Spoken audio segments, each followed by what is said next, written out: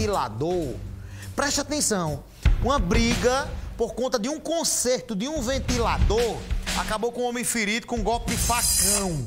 A vítima foi identificada por, apenas por Luciano. O suspeito é Josenildo Augustinho Ferreira. Ele foi preso em flagrante ontem ainda e na noite de ontem ele ainda foi preso lá na Rua Estrela, lá em Bahia. Deixa eu trazer essa informação aqui agora. Ó. Populares acionaram a guarnição na rua e ao chegarmos à UPA, nós recebemos a informação que o indivíduo teria chegado com um corte de arma branca no braço e teria sido conduzido ao trauma.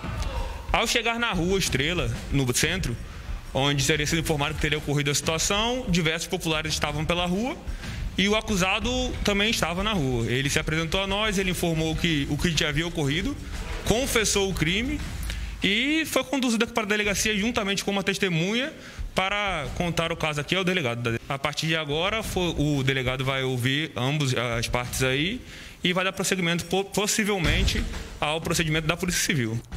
Eita, senhor do céu, um conceito de um ventilador e um facão, né? Decepou, torou. Olha aí essa cena aí. Um ventilador, meu irmão. Um conceito de um ventilador. Estão matando, estão decepando, estão para ver a queda. Ô, Júlio, esse aqui é o acusado ou é o que, que foi ferido? Esse aqui, que apareceu a cena aí. Eita! Mas, rapaz, pode um negócio desse. Saindo da, do